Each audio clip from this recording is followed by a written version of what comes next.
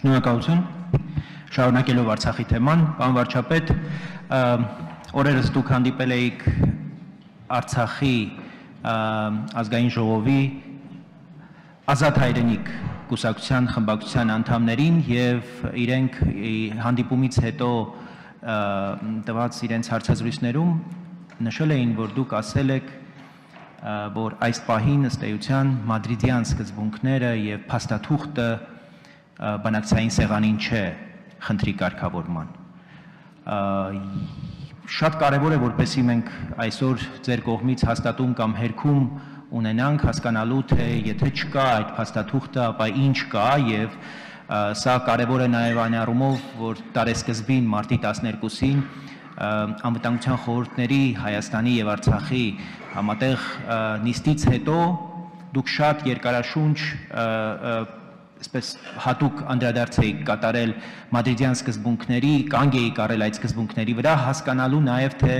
Ադրբեջանը ինչ է հասկանում այդ սկզբունքների եւ տարերի վերաբերյալ, ես սա շատ կարեւոր է, որպեսզի մենք հասկանանք ինչ դինամիկա կա այդ ուղությամբ եւ առասարակ, եթե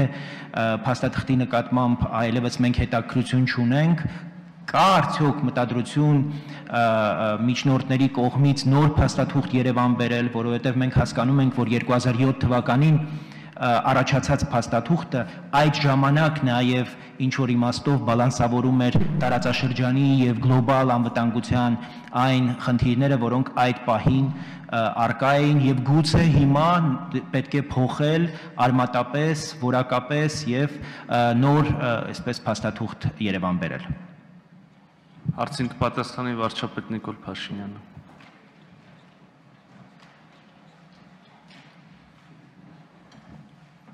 Շնորհակալ եմ հարցի համար։ Ինձ թվում է մի փոքր թյուրըմբռնում կա։ Թյուրըմբռնում է եղել, որովհետև այդ օրը ես նոր բան չեմ ասել, քան ասել եմ հրաապարակային 2019 թվականի մարտի 12-ին Ստեփանակերտում Արցախի եւ Հայաստանի անվտանգության խորհուրդների համատեղ նիստում, որտեղ իմ ունեցած ելույթը հրապարակվել է։ Խոսքը ինչի մասին է։ Խոսքը նրա մասին է, այդ ելույթում ես ասել էի, որ մենք քանի դեռ մադրիդյան սկզբունքների բոլոր պարամետրերը մեզ համար թափանցիկ չէ, մեզ համար դժվար է ասել, դա մենք ընդունում ենք որպես բանակցային գործընթացի հիմք, թե չենք ընդունում։ Եվ այս ամբիոնից էլ այդ թեմայով մի քանի անգամ խոսել եմ, ինչու՞մ է հարցը։ Երբ որ մենք, այսինքն սկզբունքները մադրիդյան, դրանք ըստ էության ճանապարհն են սկզբունքների ճանապարհն են հարցի լուծման։ Մենք ուզում ենք հասկանալ այդ ճանապարհը մեզ ինչ հնարավոր տեղեր կարող է հասցնել որպեսզի մենք ուզ, մենք մենք նախապես իմանանք մենք այդ ճանապարհով գնում ենք թե չէ ես այդ օրինակով այդ այդ հանդիպման ժամանակ հենց այս օրինակն եմ բերել ուզում եմ բացել որպեսզի տարընթերցումներ չլինի ես օրինակ ասում էի որ նույն ճանապարհով Հայաստանի վրա է բերում այդ ճանապարհով, նույն ճանապարհով կարելի է գնալ Սևան, կարելի է գնալ Գավառ, կարելի է գնալ Դիլիջան, կարելի է գնալ Վարդենիս, կարելի է գնալ Իջևան։ Հիմա մենք մենք ասում ենք այս ճանապարհով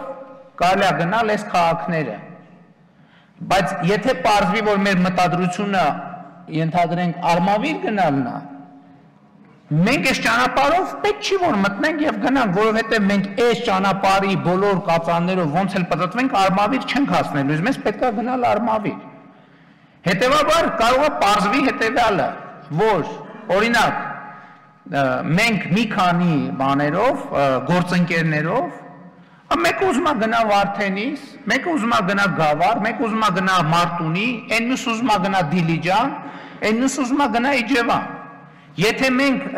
այս 5 հոգով այդ ճանապարհն ունենք, շատ տրամբանակարա նորմալ է, որ մենք Երևանից դուրս գանք եւ եւ եւ մտնենք Աբովյանով մտնենք այդ այդ ճանապարհ եւ այդ ճանապարհով գնանք այդ ճանապարհով խոսանք եթե վերջում կորոշենք որ բոլորս իրար հետ նույն տեղն են գնում լավ բայց առնվազն միջև բանի խաչմերուկը միջև գավառի խաչմերուկը մենք կարող ենք իրար հետ շարժվել Սրա մասին ասում ենք եկեք parzենք, այս մադրիդյան սկզբունքները որտեղ է տանում։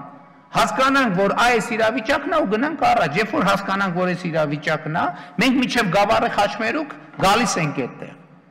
Բայց երբ որ պարզվեց, որ մեզնից մեկը ուզում է գնա Գյումրի, մյուսը ուզում է գնա Արմավիր, երրորդը ուզում է գնա Արտաշատ, Եթե շատ մա խնդրեմ կա այդ մադրիդյան սկզբունքն է։ Ինչ որ մեկը ինչ որ մեկին խափում է։ Իսկ մենք չենք ուզում բանակցային գործընթացում եւ ընդհանրապես մեր հարաբերություններում որևէ մեկին խափենք։ Սրա մասին է խոսքը։ Արձագանք, պարոն Բաբաջանյան։ Արձագանքի փոխարեն երկրորդ հարցս եմ ուզում տալ, պարոն վարչապետ,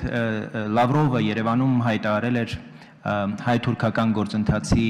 մասին, ասել էր, որ ժամանակին, երբ սկսվեց այդ գործընթացը, մենք զգուշացնում էինք մեր հայ գործընկերներին, որ զգուշ լինեն այսպես այն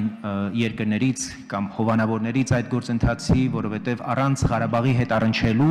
այս գործընթացը հնարավոր չի լինի առաջ մղել։ Հաշվի առնելով, որ Ռուսաստանի եւ Թուրքիայի միջև այսօր ձևավորված է աննախադեպ, այսպես պատմականորեն գուցե նախադեպ ունեցող ռազմավարական այսպես գործընկերության տարեր։ Հնարավոր է արդյոք, որ ինչ որ մի պահի առաջարկ արվի Երևանին եւ Թուրքիային եւ Անկարային, ուրեմն սկսելու այդպիսի գործընթաց եւ արդյոք դուք ունեք այդպիսի առաջարկ արդեն ձեր սեղանին կամ պատկերացնում եք այդպիսի գործընթացի մեկնարկ Ռուսաստանի միջնորդությամբ, որին ինչու՞ չէ ինչ որ պահի կարող է նաեւ արեմտյան որոշ կենտրոններ հետաքրված լինեն։ Սատար։